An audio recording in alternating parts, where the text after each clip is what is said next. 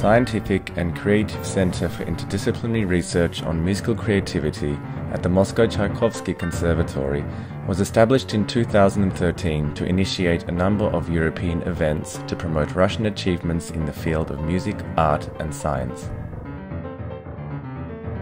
The Center has conducted three international conferences titled Music, Mathematics, Natural History at the Moscow Conservatory to date. This groundbreaking research center conducts work on the organization of scientific sections about musicology and conducts concerts of contemporary music in Russia and abroad. This includes participation in the prestigious International Symmetry Festival.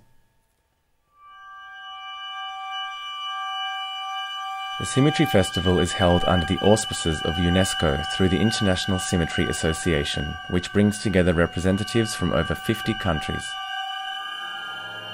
In previous years, it was held in Washington, Hiroshima, Haifa, Budapest, Delft, and Vienna, with the participation of Nobel laureates and famous musicians from around the world.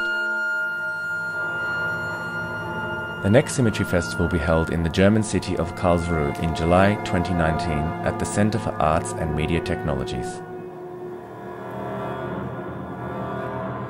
Within the framework of the festival, there will be conferences, masterclasses, concerts, exhibitions of contemporary art, and multimedia presentations. As with previous festivals, the Scientific and Creative Center for Interdisciplinary Research on Musical Creativity from the Moscow Conservatory will organize a scientific program, Music and Symmetry, including two concerts of contemporary music with the participation of conservatory musicians.